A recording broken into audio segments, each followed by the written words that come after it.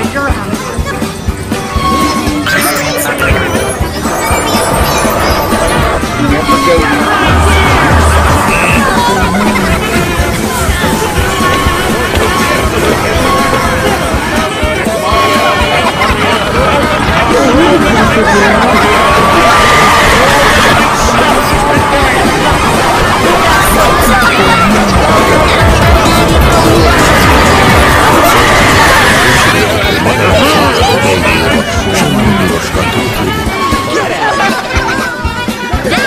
If it isn't Mr. Talks Too Much.